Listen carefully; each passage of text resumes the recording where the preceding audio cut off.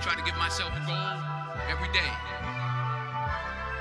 Sometimes just to not curse somebody out. Simple goals, but have goals.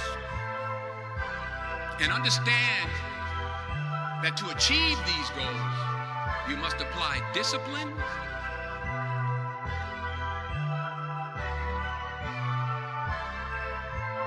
and consistency.